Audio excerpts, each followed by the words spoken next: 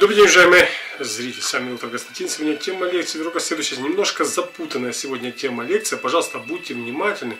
Мы с вами ее распутаем. А вы, пожалуйста, будьте внимательны. Почему? Потому что через внимание вы сможете постичь любую свою болезнь, знать, откуда истекает ваш корень заболевания. Почему? Потому что вот именно сегодняшняя тема лекции – недомогание через воспаление. То есть, что такое недомогание? Это болезненное состояние. Это хорошо. Почему? Потому что когда человек чувствует болезненное состояние, иммунитет у него работает, выполняет свою функцию. Но болезненное состояние может чем?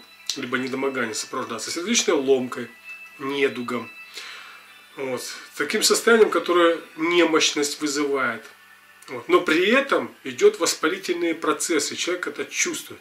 Жар внутри, появляется одышка, чрезмерная тяжесть, непонятная воспален, человек чувствует, что это воспаление, непонятное воспаление, откуда же это происходит. Но это все сопровождается недомоганием, слабостью, вялостью, которую человек объяснить также не может. Вот приходят такие люди на диагностику, говорят, вы знаете, все хорошо, но почему-то вот к концу дня я чувствую, что я воспалился весь и слабый. И это воспаление гнетет меня, я слабею прямо на глазах.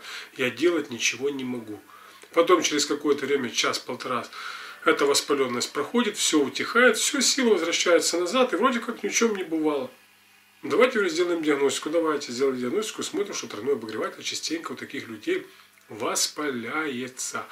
А почему? Потому что тройной обогреватель отвечает за грудную и брюшную мочеполовую систему, там, где все наши органы, системы, кровеносные сосуды, все главенствующие органы находятся. Заметьте, мы не показали головной мозг, мы показали те органы, которые являются жизнедеятельными. И они имеют свойство воспаляться из-за того, что сам человек виноват. Первое, что человек не контролирует свою работу. Физическое перенапряжение. Вот многие люди не хотят смириться тем, что уже им не 30, уже 40. А те, кто 50, не хотят мириться. Они думают, что им 30. Они пытаются все, что встряхнуть своей молодостью, показать, что еще есть порох в пороховницах, что мы еще можем. Да, уважаемый зритель, можете.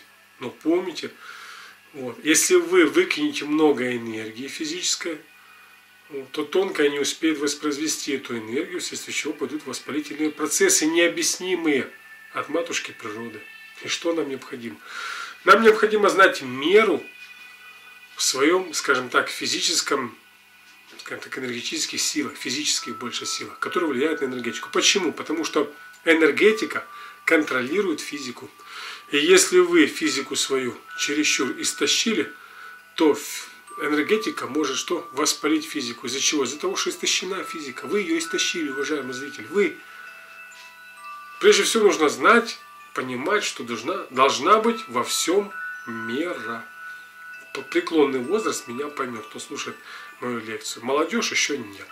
Потому, уважаемый зритель, помните, если у вас появляется недомогание, который перерастает в воспаление, эти воспаления порождают недомогание, данная точка ТР4 Янчи вам в помощь. Данную точку нужно расслаблять. Тем самым вы успокаиваете и тонкую энергию, и тонкая энергия воспаляет, что контролирует физическую энергию. Тем самым наступает что? Гармония, успокоение. Но, уважаемый зритель, пожалуйста, пересмотрите свой образ жизни, чтобы это воспаление потом не ударило в ваш, ваше уязвимое место. Но если у каждого человека, только не каждый, о своем здоровье знает. Поэтому мы говорим частенько в своих лекциях, что нужно болеть. И хорошо, когда человек болеет. Почему? Потому что он знает свои уязвимые места.